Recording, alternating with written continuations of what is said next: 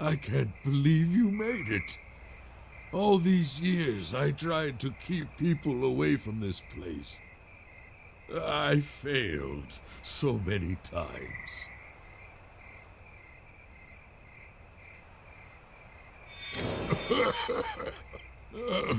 I guess the poison from the fog is finally taking its toll on me.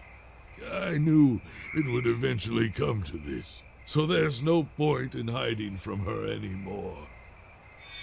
But there, there might be one more thing I can do to redeem myself. Please, come with me to Clara's room. You already have something that can help.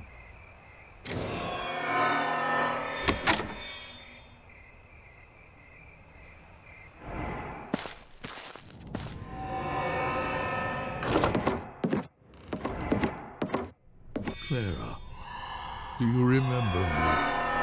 The mob is gone.